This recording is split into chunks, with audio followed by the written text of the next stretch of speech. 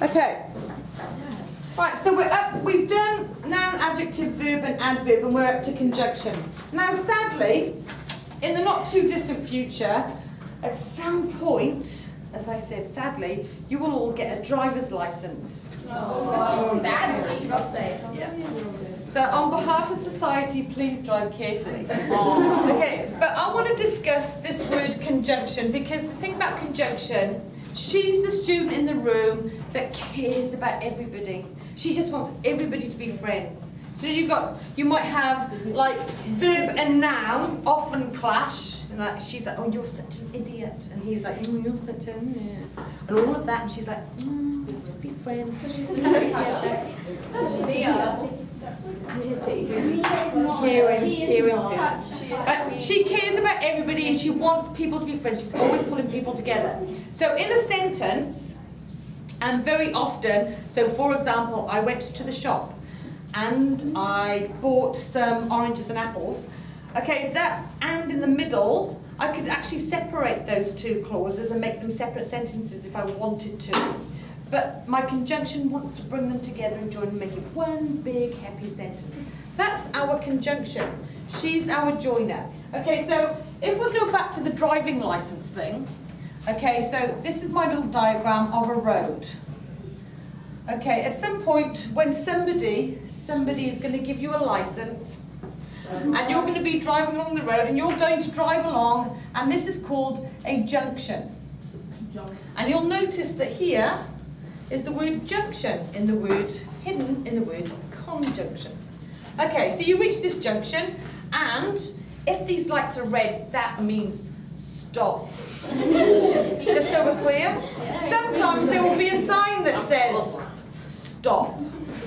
When you get to that sign, you must stop. All right. Um, when you get to the end of this road, then you've got some decisions to make. You can keep going if you want to, or you can stop right there.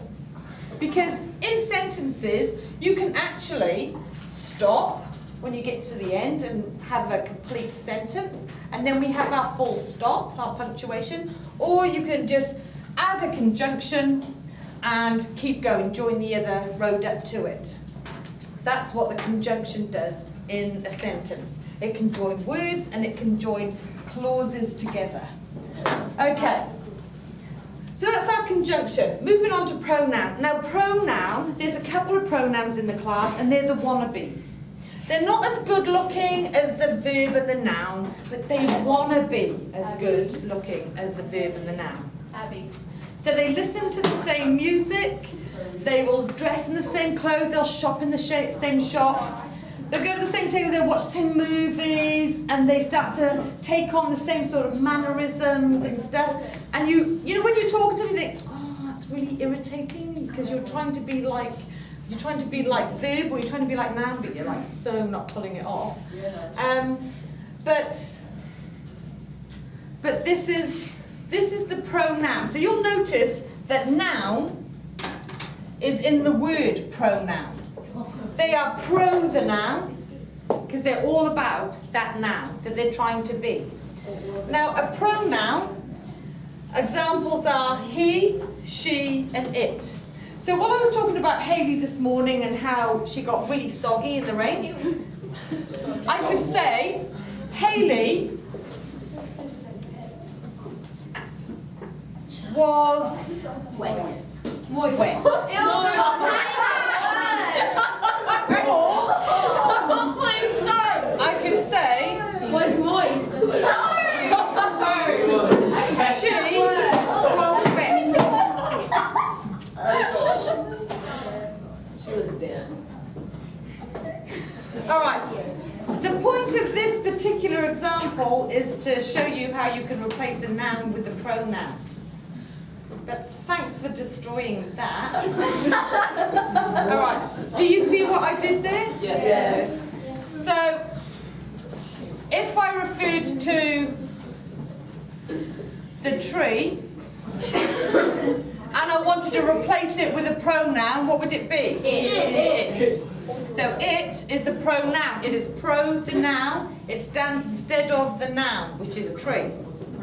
Do you understand that? Yes. Are you sure? Yeah. Because you will be tested on this. All right. Now we come to article. There are only two articles that you need to worry about. They are the and a. See, journalists. Okay. If if I say um, here is a tree, then that could be any number of trees, right? If I say to you, here is the tree, then I'm actually saying there's something a little bit more special about that tree, which makes it a little bit more definite. It is the definite article. Where are we? The is the definite article, and a is the indefinite article. So, sorry? Is that the person that always gets their assignments done? It's Oh, that's definitely me. The Um, teacher's pet. The, well, I'm just thinking about the Mrs. Davidson or the Lockie. The, there's not just any Lockie. The Lockie comes in. You know Lockie's in the room. Oh, Because the definite article, The lock the definite article, he is the loudest, noisiest. Lovely person, No. so loud. Lock so you up into the room and He's not even that miss. And then we have the uh, which is the indefinite article. And she's she's like everybody's friend. She gets on well with everyone. She fits in with everyone. She's just really lovely. That's the indefinite article. Doesn't make a scene, but really lovely. Okay, so if you said uh, apple, that doesn't sound accurate. I got a So we put I got a pen. and that's because the first letter is a vowel. Well done. Yes, you're. So, miss. There's some learning that's gone on last year. Okay, how we going? Good? I got. Right, we're up to preposition. Okay, the preposition, and I've put this last on the list because when you look, oh, thank you, I'll just pause it there and start again. Oh, okay, it's all good.